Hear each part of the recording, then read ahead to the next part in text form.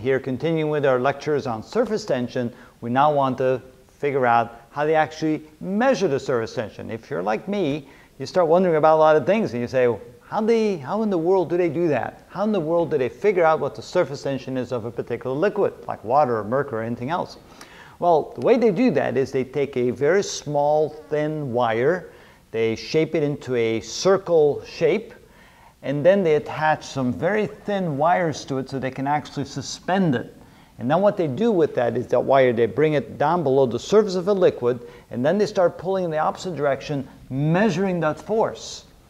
And as they try to pull it out of the liquid, notice that the liquid will begin to adhere itself because of the surface tension all the way around the edge of that wire. And as you pull, the, the surface tension will continue to pull more and more and more. The angle of the surface tension will get smaller and smaller and smaller until it gets to be zero degrees. And then eventually you pop it through the, the surface of the liquid. At that moment, you measure the force. You see it increase, you measure the force, and then by that, you'll be able to figure out the surface tension of that liquid. So let's see how the equation works out. Again, the force caused by surface tension is equal to the coefficient of surface tension times the length. And since we're, of course, looking for the, for the coefficient, we say that the coefficient is equal to the force divided by the length. Of course, the force is something that you measure, and the length, of course, is something that, well, I guess you measured it as well. After you fashion that little wire, make sure you get it correctly. But let's, let's assume that the, uh, the radius of that uh, circular wire is 10 centimeters.